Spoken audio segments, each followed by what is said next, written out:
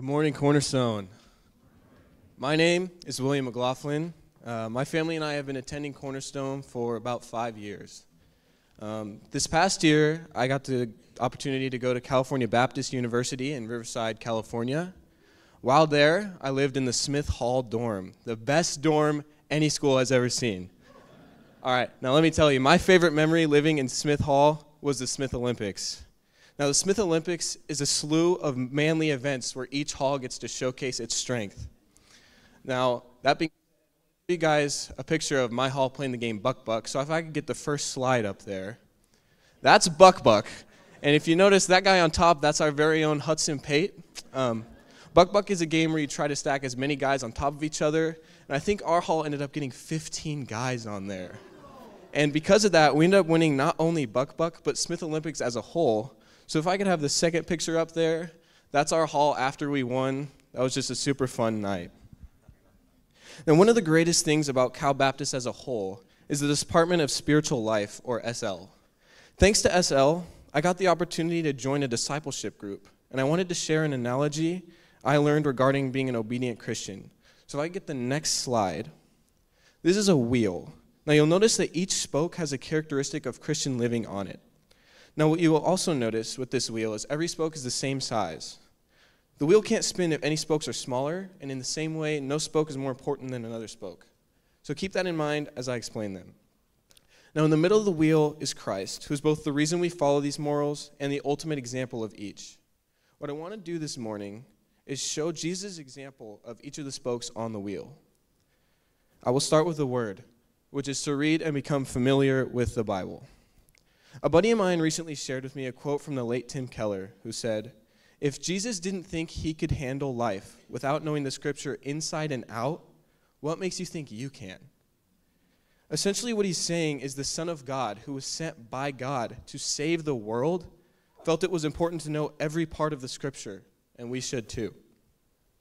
Moving on to fellowship, I have learned that fellowship is about spending time with and working together with fellow Christians to serve others and spread the gospel message. As far as an example from Jesus, I was reading through one of my textbooks last night, and it was talking about the Trinity. I read about how each member of the Trinity worked together throughout the events of the Bible. As I was reading, I was reminded of a Lecrae album called All Things Work Together. The title track of the album is based on Romans 8:28, which says, "For those who love God, all things work together for good." In the song, Lecrae expresses how it will all work out, and he expresses his failures as a man within his family and community and describes how God reminds him of the hope he has in Christ. In the same way that the Trinity works together to provide us with hope, we believers should also work together as the Lord has blessed us each with spiritual gifts.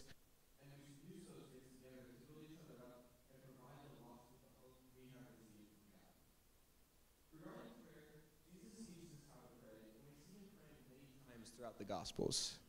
Jesus prayed through difficult decisions, big decisions, when in need, and when in pain. Jesus even prayed while on the cross, crying out to God, quoting scripture, and praying for the hearts of those crucifying him. Jesus shows that there is always an opportunity for prayer, and no request is above asking God. In the same way that Jesus prays, thanking God, asking for help, praying on behalf of both his friends and his enemies, we should also pray for such things as we follow Jesus' example. For this final spoke, witnessing, well, witnessing is the spoke that I personally find the hardest. But Jesus made it look easy. I mean, despite constant persecution and religious leaders working to capture him, he continued to share his message. Today, we are blessed to live in America, a country where legally we can't be killed for proclaiming Christ's gospel. And if Jesus was able to share his message with the constant threat and eventual carrying out of his crucifixion, I think we can share the message without that threat. Harkening back to the image of the wheel, each of these aspects working together will allow the wheel to spin. This summer, I am working on being a better witness of Christ's gospel. And I would like to invite you all to join me in working on the spoke that you struggle with the most. To finish off, I will end with a verse that reminds us why we live the way we do. Romans 5 6 through 8 says, When we were utterly helpless, Christ came at just the right time and died for us sinners. Now, most people would not be willing to die for a righteous person, But God showed great love by sending Christ to die for us while we were still sinners. And with that, I'd like to invite the service to come forward.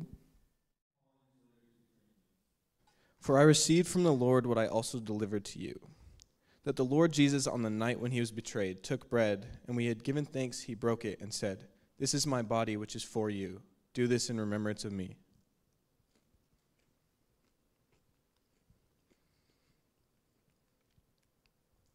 In the same way, also he took the cup after supper, saying, This cup is a new covenant in my blood.